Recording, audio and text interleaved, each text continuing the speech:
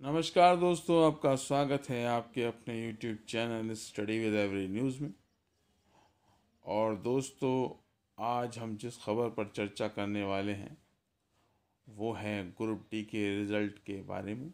जी हाँ दोस्तों, आप सबको जैसा कि पता है कि आज दस तारीख है और आज रिज़ल्ट आने की घोषणा सभी चैनलों के द्वारा करी गई थी। उसमें से एक हमारा चैनल भी है। लेकिन बाद में इसको बढ़ा दिया गया। सबके अलग अलग रीजंस रहे। हमारा भी एक रीजंस था। अभी हमारे सूत्रों से पता लगा था कि इलेक्शन बारह तारीख के बाद जो हो रहा है, उसके बाद आएगा रिज़ल्ट लेकिन आज दस तारीख है और देखते हैं कि आज रिज़ल्ट आएगा या नहीं।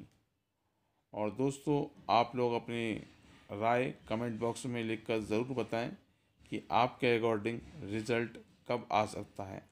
आज या फिर पंद्रह को या फिर जून में। धन्यवाद दोस्तों, आपका दिन शुभ हो, आप खुश रहें। यही हम ईश्वर से कामना करते हैं और आप पढ़ें क्योंकि पढ़ाई ही आपका भला करेगी। धन्यवाद।